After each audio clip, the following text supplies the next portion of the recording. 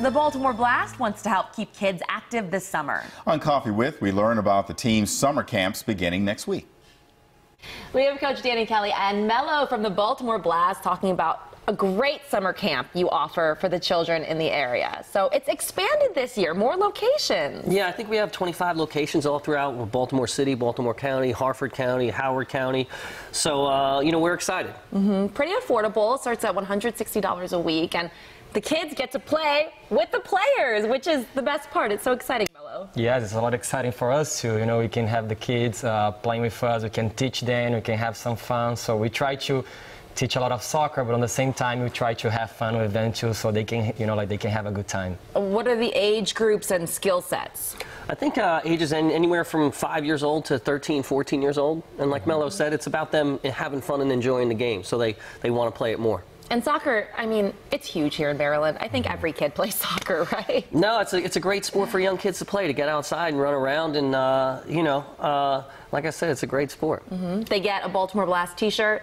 They get a soccer ball. They get a ball, T-shirt. They get uh, tickets to four four blast games. So it's a good deal. Really cool. So where can parents go online to find out more information if they're interested? You can go to BaltimoreBlast.com or call the the Blast office at uh, 410.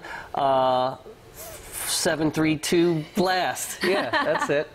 so the new season will start in November. Correct. It's a long off season. So mm-hmm. each of you, what are you doing between now and then besides the camp? Uh, well, I'm in the office full time, and right now is a free agency period, so we're uh, trying to. Uh, add some additions to the team and strengthen us for the season. Mm-hmm. Mello? Yes, we keep training, try to keep in shape, and I mean, I do as a coach, you know, like try to stay connected with the community as well during the summer, you know, so like the kids and the parents know us as a, as a player as well, and, you know, kind of come to the games during the season. It must be really fun to get this one-on-one time with these younger fans during the camp. Yes, definitely. I mean, and then after the games, they say, oh, you know, Mello, do you remember me, Coach Mello? And then it's so fun. Do you remember them?